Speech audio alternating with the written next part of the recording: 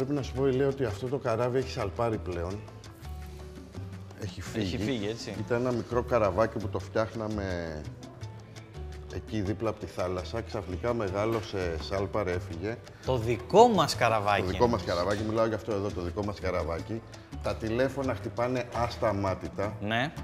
Θεωρούν όλοι ότι η εκπομπή είναι ό,τι καλύτερο έχει βγει στην ελληνική τηλεόραση τα τελευταία... Στην ευρωπαϊκή νομίζω.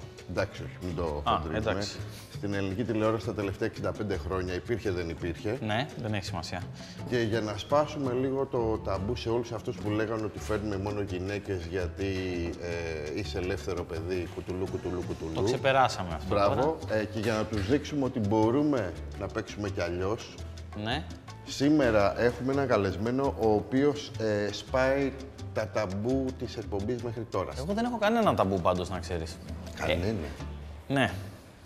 Ωραία. Θες να δούμε λοιπόν αν μπορεί να σου βρει και να σου σπάσει ένα ταμπού; Περίμενε λίγο, έχει φύγει το καράβι, θέλω να δω. ναι. Τε- Ladies and gentlemen, the ship is ready for disembarkation.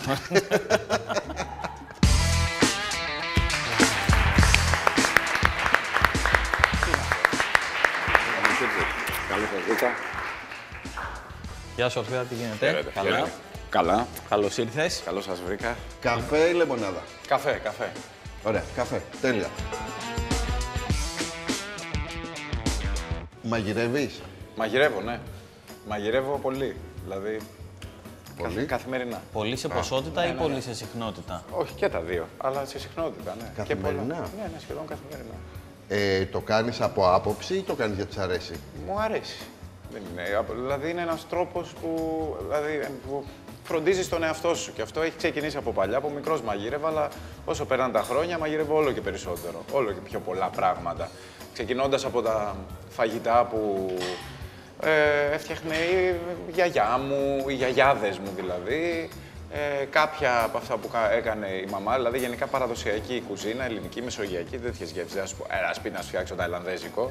Αλλά ας σου πω, έλα σπίτι να σου φτιάξω λαχανοτολμάγιο, βαρλάκια, παστίτσιο, ε, γιουβέτσι. Μας το λες τώρα να έρθουμε ή λες Σα ότι... το λέω, λίγο να γνωριστούμε ακόμα, Ωραία. γιατί τώρα νιώθω λίγο. Α, Τι εντάξει, ακόμα, Φάγαμε λίγο. πόρ- Χαιρετηθήκαμε, φιληθήκαμε εδώ. Ξέρεις τι, όχι, όντως θεωρώ ότι είναι μια ωραία διαδικασία. Δεν φάγατε πόρτα, αλλά είναι, είναι ωραίο να αναλογείς τη σχέση σου. Δεν λες, παιδιά, μαγειρεύω. Όποιος θέλει να έρθει σπίτι να του φτιάξω φαΐ.